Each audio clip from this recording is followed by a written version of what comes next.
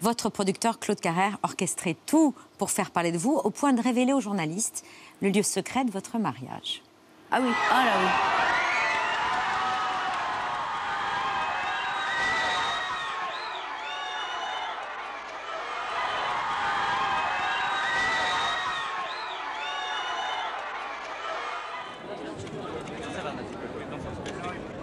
S'il vous plaît, nous écoutons Monsieur le curé.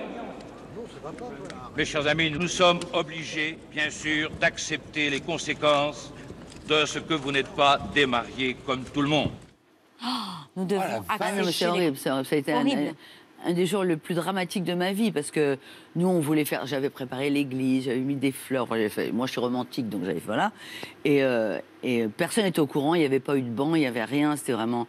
Et Carrère l'a annoncé. c'est Anne-Marie Pesson qui l'a annoncé sur RTL le matin de bonne heure.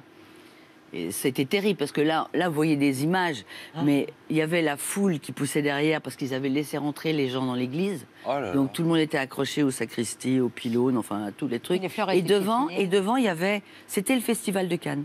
Il y avait les photographes et on a fini avec le curé sur les genoux qui trouvait pas les alliances. Enfin bon, je vous la fais court. Mais Vous en c'est vrai que pour moi, voulu, c'est c'est ouais. un- c'est- pas un souvenir, c'est un truc terrible. Moi, je l'aime marier. Tu t'es retrouvé avec la perruque. Ah, tu Ken. t'en es rappelé ça. Avec Ouais. quoi? Mais parce que euh, on, on était devant l'hôtel et tout, ça poussait tellement. Le, le curé nous marie, bon, allez hop, parce qu'on n'avait pas le temps. Je ressors pour aller dans la... Arrête de rire Je ressors pour aller dans la sacristie et il y avait trois marches. Donc la foule poussait, poussait. Et là, je sens quelqu'un qui tombe devant moi. Donc j'essaie d'attraper parce que c'est terrible. Et je sors, je me sors avec une perruque à la main. J'ai dit, oh merde Et là, je suis à qui était la perruque. Elle n'a pas été réclamée par son Non, propriétaire. personne n'est venu la chercher. Dommage. Il a arrêté de porter les perruques suite à ça.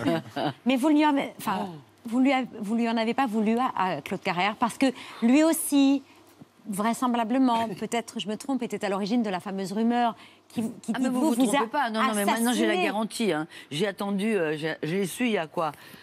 Une dizaine d'années qu'en réalité cette rumeur qui avait été construite par euh, Gérard de Villiers, Pour dire Ben, que vous étiez, enfin, qui faisait croire que vous étiez un homme. voilà, c'est ça.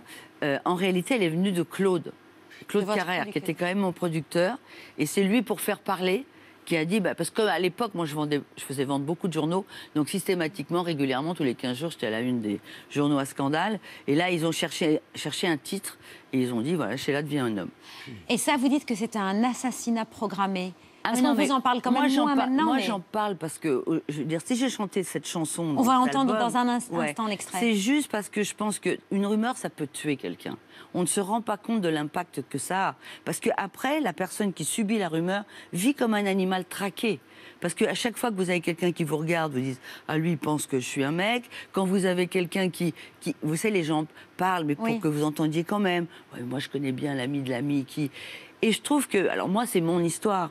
Mais si vous voulez, aujourd'hui, dans ce monde de réseaux sociaux, de, de tous les gamins qui sont sur tous les. Alors, au départ, ça peut parler d'un truc qui n'est pas méchant.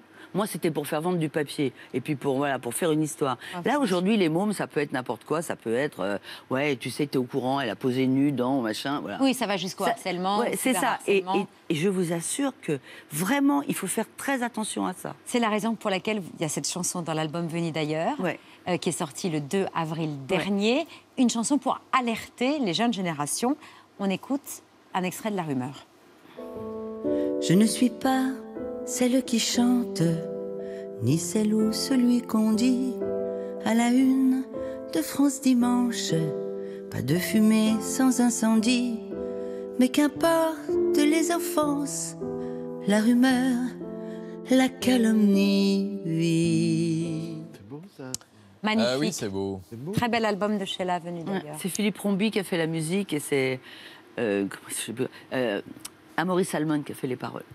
Et pour revenir à celui qui vous a forgé, accompagné pendant des années, Claude Carrère, il vous a interdit pendant des années de, de- de faire des concerts parce de que faire de la scène. ouais. J'en ai fait à mes débuts, j'en ai fait. Moi, j'ai démarré en 62. Grande tournée 63-64. Voilà, 63, Immense 64, succès dans, ouais. la, dans la presse, c'était un événement. voilà. Après, moi, j'ai eu un problème de santé, donc j'étais obligée de m'arrêter pendant un an. Oui. Et sur ces années-là, j'ai beaucoup, beaucoup enregistré.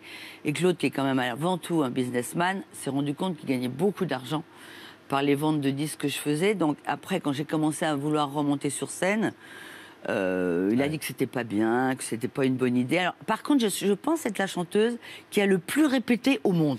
C'est-à-dire que j'ai passé mon temps à répéter avec des musiciens et tout en préparation de la prochaine scène qui arrivait, qui est jamais arrivée. Il a fallu que je quitte pour que pour monter sur scène.